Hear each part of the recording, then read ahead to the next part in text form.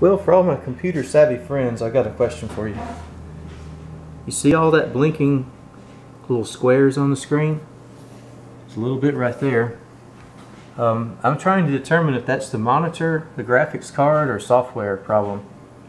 Um, if I make the taskbar come up and go away, you see it changed it. Now it's not flickering anymore and there's less of them. If I move this uh, window around, window covers them up.